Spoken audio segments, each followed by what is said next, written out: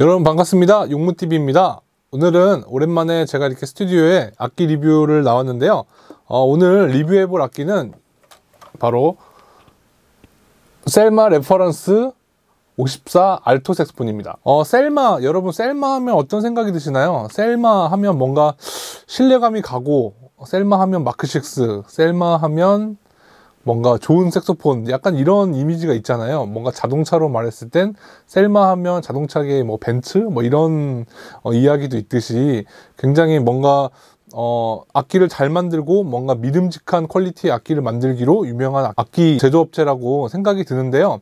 요즘은 Selmer는 트럼펫, 플룻, 뭐 기타 등등 다른 이게 관악기들도 만들고 있는데 제가 오늘 리뷰할 이 Selmer Reference 54 모델은 Selmer사에서 아주 오랫동안 심지어 지금까지도 굉장히 많은 사랑을 받고 있는 모델인 지금은 단종됐지만 마크6 모델을 재탄생하기 위해서 만들었다고 합니다. 그냥 단순히 그때 마크6와 똑같은 모델을 만든 자 이런 것보다는 마크 6보다 더 나아가서 더 좋은 악기를 만들어 보자 라는 취지 아래서 이 악기를 제작하게 됐다고 합니다. Reference 54, 이 54가 의미하는 숫자는 마크 6, Selmer Mark 6가 출시된 연도인데요. 그 연도의 숫자를 따서 Selmer Reference 54, 그리고 Reference 36 모델이 있는데요. 이 36은 여러분들이 아마 추측하실 수 있으실 텐데요. 바로 Balanced Action 모델이 출시되는 해입니다. Balanced Action 모델은 아무래도 조금 더 사운드가 풍부하고 저음이 풍성한 그런 악기인데요. 이 마크 6 모델을 이 악기가 잘 따라 했는지 아니면 조금 실망스러운 악기인지 한번 지금부터 살펴보도록 하겠습니다. 이 악기는 제가 조금 리뷰를 좀 디테일하고 정확하게 해드리기 위해서 많은 정보를 찾기 위해서 제가 많이 악기를 연주하고 오랫동안 테스트를 한 후에 지금 리뷰를 하고 있는데요. 이 악기 같은 경우는 지금 Selmer사에서 출시되고 있는 악기 액션 시리즈 2, 3 그리고 바로 이 모델 현재 Selmer사에서 나오고 있는 플래그십 모델인데요. 가격이 약 600만 원 가까이 하는 아주 고가의 악기입니다. 어, 우선 Selmer Mark 6가 갖고 있었던 그런 부드러운 톤과 그리고 좀 파워 있는 소리를 잘 표현했다고 생각이 들기는 하는데요. 제가 이렇게 사용을 하다 보니까 단점이 생각보다 굉장히 많은 악기였어요. 물론 장점도 있긴 있지만 그보다 단점이 너무 많아서 어, 이게 조금 이게 셀마 마크6 모델을 잘 이렇게 보완해서 만든 제품인가 라는 생각이 좀 들긴 합니다. 미리 말씀드리자면 지금 제 이 영상을 보고 계신 분들 중에 이거와 같은 악기를 쓰고 계신 분들은 어, 조금 죄송스럽다는 말씀을 먼저 좀 드리고 싶네요. 어, 일단 장점으로는요. 이 악기의 톤은 굉장히 파워풀하고 소리가 큰 편입니다. 어, 일단 악기 자체가 굉장히 악기를 딱 만져서 잡아봤을 때 굉장히 단단하고 묵직한 맛이 있습니다. 묵직하고 뭔가 좀 잘 만들어졌다는 그런 느낌이 딱 드는데요. 그런 거에서 딱 느껴봤을 때 악기를 잡아봤을 때 악기를 들고 딱 잡아봤을 때 연주하기 전부터 이 악기의 사운드 자체가 어떻게 나겠구나 라는 걸 조금 우리가 파악을 할 수가 있거든요. 근데 지금 이렇게 잡아봤을 때 악기가 굉장히 사운드 자체가 굉장히 단단하고 뭔가 앞으로 쭉 뻗어나갈 것 같은 그런 사운드를 들려줍니다. 그리고 두 번째 장점으로는 굉장히 굉장히 화려하고 예쁜 디자인인데요. 지금 이 engraving 같은 경우도 굉장히 깔끔하고 멋있습니다. 요즘 나오는 Selmer 악기 같은 경우는 engraving을 굉장히 화려하고 뭔가 좀 돋보이게 하는데요. 이 Selmer Reference 제품 자체도 굉장히 화려하고 아주 멋있습니다. 디자인이 그리고 dark lacquer 색상입니다. dark lacquer 색상인데 어, 이 dark lacquer 색상 하면 떠오르는 게 바로 마크 6 모델이죠. 빈티지 악기들 색상이 다 dark lacquer, dark gold lacquer 색상이었는데 그 시절 악기의 디자인과 조금 많이 흡사하게 제작이 된 것 같습니다. 네, 그러면 이제 단점을 말씀드려 볼 시간인데요. 단점은 제가 악기를 좀 더 디테일하게 살펴보면서 여러분들께 말씀드려 보도록 하겠습니다. 네, 그럼 이제부터 좀 악기를 디테일하게 살펴볼 텐데요. 이 Selmer Reference 모델 같은 경우는 bow가 조금 다른 악기에 비해서 좀 긴 편입니다. 지금 여기 여기서부터 여기까지 그러니까 여기서부터 여기까지가 이게 bow 부분인데요. 이 부분이 조금 길다 보니까 단점이 뭐냐면 제가 이렇게 G sharp 이쪽 왼쪽 새끼손가락 부분을 연주할 때 자꾸 이쪽이 이렇게 걸립니다. 좀 연주할 때가 많이 불편한 단점이 있습니다. 만약에 여러분들께서 fingering 하실 때 좀 이 부분을 좀 이렇게 많이 핀 상태에서 연주를 많이 하시면 어, 이 부분이 조금 많이 거슬릴 것 같다는 생각이 듭니다. 그리고 또 또 두 번째 단점은 바로 이쪽 이쪽 사이드 키라고 볼 수가 있겠는데요. 지금 제가 이, 이쪽 사이드 키가 이쪽으로 와서 이쪽 연주하고 하입 F음 낼 때 이쪽으로 딱 가야 되는데 이쪽 여기서 막 연주를 하다가 이쪽이 상당히 멀기 때문에 어 연주하기가 굉장히 조금 어렵습니다. 그래서 하지만 이쪽에 뭐 조금 요즘 모던 색스폰들 같은 경우는 웬만하면 다 이쪽에 가드가 이렇게 있어서 여기서부터 한 이 정도서부터 이렇게 좀 이렇게 튀어나와 가지고 이게 정지를 시켜주는 게 있는데 이 셀마 레퍼런스 모델은 그게 없기 때문에 조금 이게 불편합니다. 그래서 이쪽에서 막 연주를 하다가 여기서 막 이렇게 자유자재로 막 이렇게 연주를 하다가 고음을 연주할 때 이쪽으로 한 번에 빡 올라가는데 이쪽에 좀 손목에 무리가 많이 가서 올라가야 되기 때문에 조금 이 부분이 아 조금 많이 개인적으로 아쉽습니다. 지금 그냥 그냥 기본적으로 이렇게 잡았을 때도 딱 이 부분만 딱 닿게 이렇게 돼 있기 때문에 뭐 이 이 비플랫 키 같은 경우는 뭐 많이 쓸 수가 있겠지만 이 고음을 연주할 때 좀 많이 불편한 편입니다.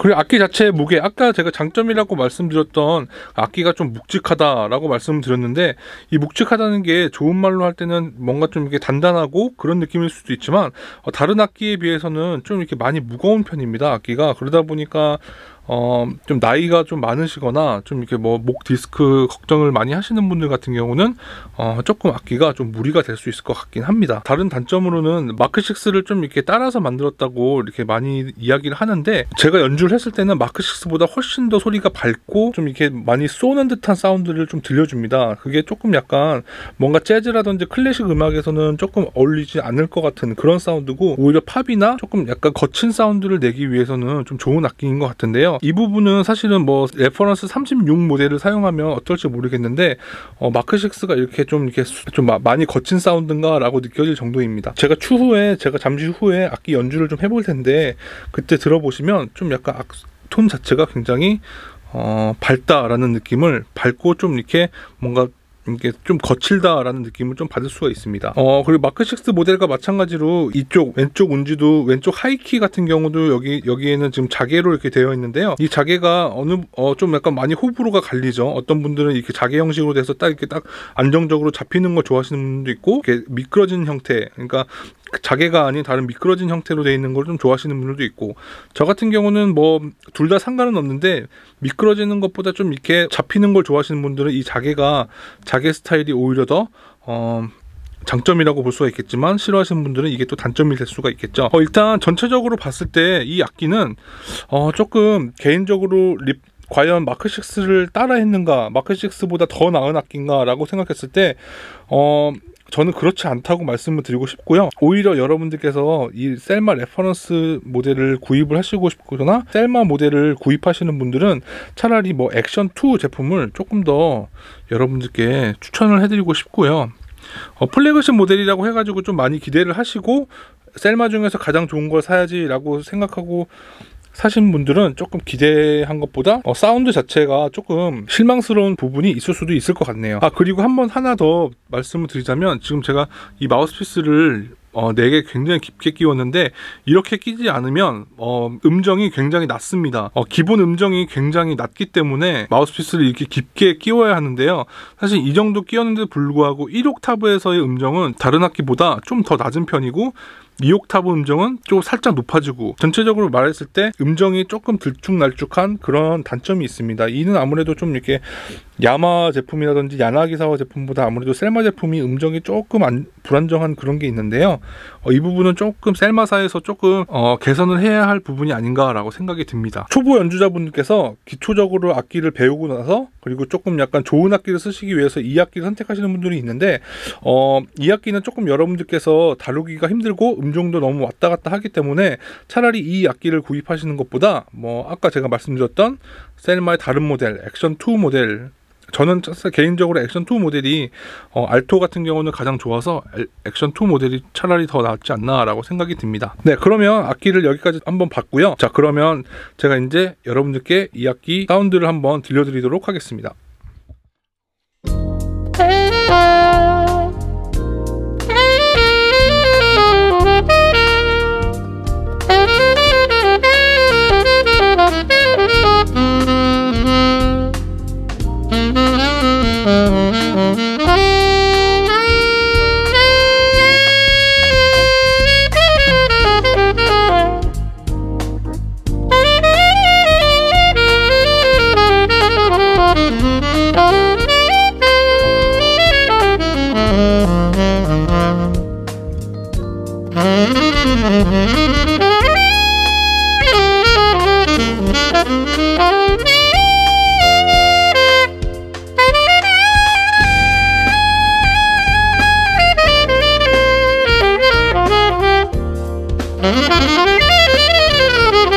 Música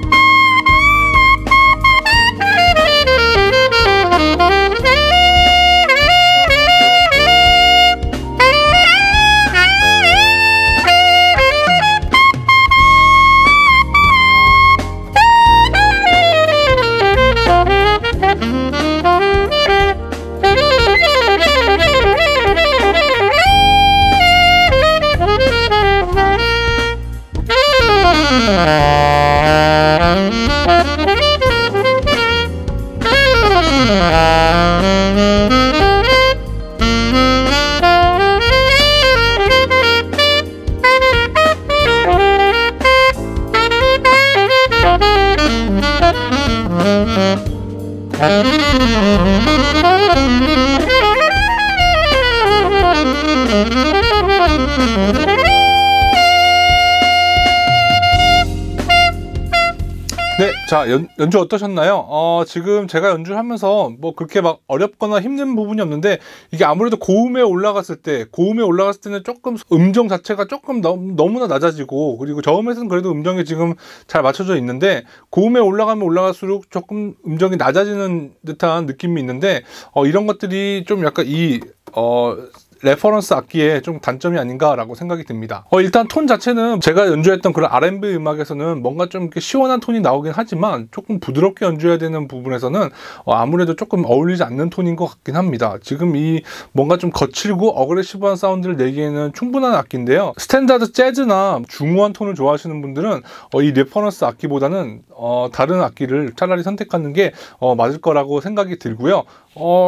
어, 가격대 이만한 가격대 600만 원에 가까운 이 가격에 어, 이 정도 quality면은 조금 어 조금 좀 생각해볼 문제가 아닌가라고 생각이 듭니다. 사실 레퍼런스 악기를 어 제가 악기점에서 인터뷰를 했을 때도 레퍼런스 악기가 굉장히 많이 팔리는 악기라고 합니다. 근데 뭐 많이 팔리는 데는 그런 이유가 있겠지만 뭐 제 개인적으로 생각했을 때는 어 조금 이게 어, 가격이 좀 비싼 게 아닌가라는 생각이 들긴 합니다. 하지만 어쨌거나 제가 말하는 것보다 아무래도 여러분들이 직접 판단하시고 어, 좋으면 여러분들이 구매하시는 거는 뭐 아무런 문제가 없기 때문에 어, 상관없는데 어, 제 개인적으로는 조금 이 악기는 어, 저랑은 좀 안 맞는 것 같기도 하고 아니 그리고 조금 단점이 많이 보여서 조금 어, 딱 이 악기가 이 셀마사에서 추구했던 마크 6를 뛰어넘는 악기라고 보기에는 조금 어려울 것 같다는 생각이 듭니다.